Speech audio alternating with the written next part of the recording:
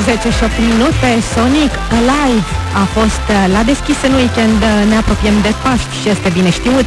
Învierea Domnului, ridicarea lui Hristos din morți la trei zile după ce a fost răstignit pe cruce este considerată cea mai mare minune din istoria creștinătății. În această perioadă se consumă, potrivit celor mai recente statistici, cele mai multe dulciuri, chiar mai multe decât de Crăciun. Se consumă așadar în medie aproape 55 de milioane de kilograme de iepurași și ouă de ciocolată.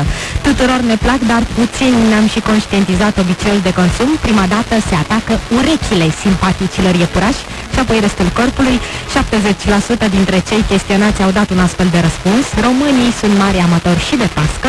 Indiferent de umplutură, chestionarul arată că aproape 10 tone din preparatul specific sărbătorilor de Paști se mănâncă doar pe teritoriul țării noastre.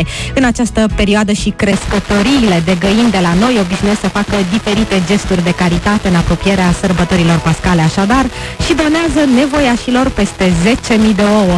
Bugetul românilor pentru cumpărăturile de Paști variază în medie în jurul valorii de 400 de lei. Cu acești bani au grijă să pună pe masă bucate tradiționale, dar știu și o sticlă de vin roșu.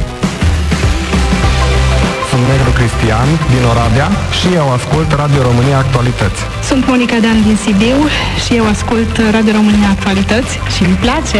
Mă numesc Hermano Mihai, ascult silnic Radio România Actualități. E cel mai serios post de radio din țară. Acasă, la serviciu, în mașină, ascultați Radio România Actualități.